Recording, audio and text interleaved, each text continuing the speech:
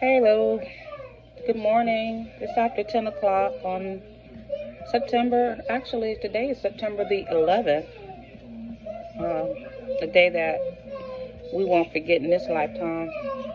Our generation and generations uh, after us also. But anyway, just came on just randomly thinking about different things and um, it's just situations that need to be changed. I had a kind of a down weekend. You know, you ever have those weekends where you just down? Um, and I don't want to drag anybody else down, but sometimes you're just down and you don't know why. You just you just feel that way. And usually it's um, like I went to church yesterday and he was talking about uh, filling in the gap. Like there's a gap. And when he said it, I automatically, in my mind, I drew a circle and I left an opening there.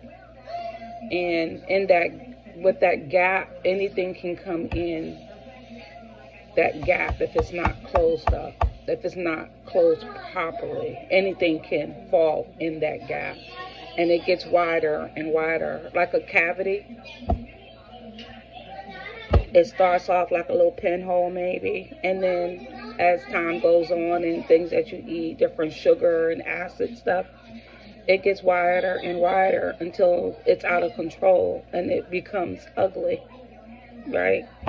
Um, and it becomes painful.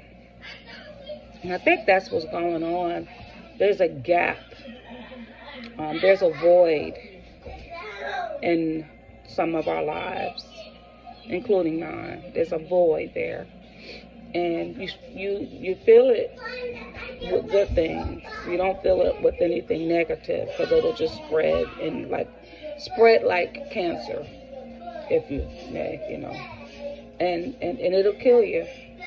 So I just decided. I said, um, this morning, well, last night when I went to bed, I was still feeling a little miserable, but I said, Lord, tomorrow when I get up, it's going to be a new week and it's going to be, everything is going to be new. And I just want the gap to be filled. Start filling in the gap and making me feel better about me and, and the directions that I want to go. Because it was just awakening, you know, you got to fill these gaps. And like I said before, it's it's time you know it's it's we're not getting any younger. We're getting older. Time is winding down for the world also. And if we don't be happy it's just that we lived our lives in vain right? Okay. Another sick day.